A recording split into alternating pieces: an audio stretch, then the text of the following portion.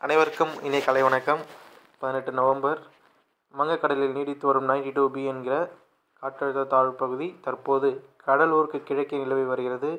இது தொடர்ந்து வ மேற்கு திசை நோக்கி நகர்ந்து கடலூருக்கும் கடலூருக்கும் சென்னைக்கும் இடைப்பட்ட பகுதியில் புதுவை அருகே பயணிக்கும் என்று எதிர்பார்க்கப்படுகிறது. இதன் காரணமாக தெற்காந்திரா மற்றும் வட கடலோர மாவட்டங்களில் பரவலாக கன முதல் மிக கனமழை ஆங்காங்கே பதிவாகுவதற்கான வாய்ப்புகளும் உண்டு.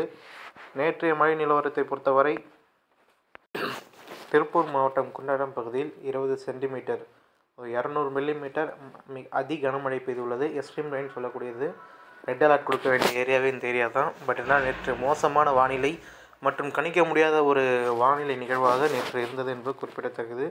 தாராபுரத்தில் பதிமூன்று சென்டிமீட்டரும் கலெக்டர் அலுவலகத்தில் பன்னிரெண்டு சென்டிமீட்டரும் பதினோரு சென்டிமீட்டரும் திருப்பூர் தெற்கு திருப்பூரில் பத்து சென்டிமீட்டரும் பல்லாடத்தில் எட்டு சென்டிமீட்டரும் மழை பதிவாகியுள்ளது. அதேபோல் அம்பாசமுத்திரம் உள்ளிட்ட திருநெல்வேலி பகுதியில் ஆறு சென்டிமீட்டரும் மழை அதிகபட்ச மழையாக பெய்துள்ளது.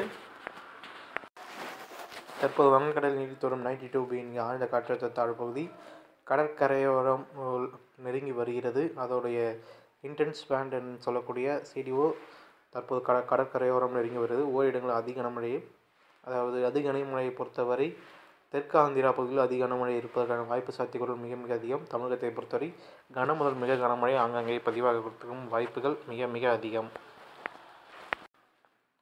கடைசி ஆறு மணி நேரத்துடைய அந்த நைன்டி டூ பிஏவுடைய மூமெண்ட்டை பார்க்குறோம். ஒரு குறைந்த அளவில் இருந்த அந்த ஒரு பேண்டோட இன்டென்ஸ் அளவு வந்து பார்த்திங்கன்னா ஒட்டுமொத்த தமிழ்நாட்டின் கடலோர மாவட்டத்தையும் கவர் பண்ணியிருக்குன்னே சொல்லலாம். சென்னை முதல் நாகப்பட்டினம் வரை உள்ள மாவட்டங்களில் முழுவதுமாக கவர் பண்ணி ஒரு நல்ல மழை கொடுத்துட்ருக்கு. பெரும்பாலான இடங்களில் லேசான மழையை பெஞ்சிட்டு இது வந்து அடமழை காலம் போல் இருக்கும். சில இடங்களில் மட்டும் மிக கனமழை இருக்கக்கூடும். அது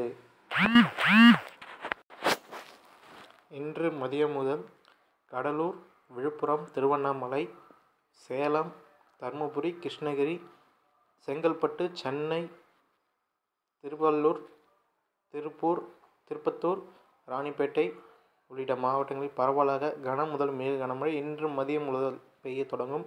தற்போது அதுவரை ஒரு லேசான மழை மழையே பதிவாகக்கூடும். நெருங்க நெருங்க தான் மழை அதிகரிக்கும். அதனால் தொடர்ந்து கண்காணிக்கப்பட்டு வருகிறது.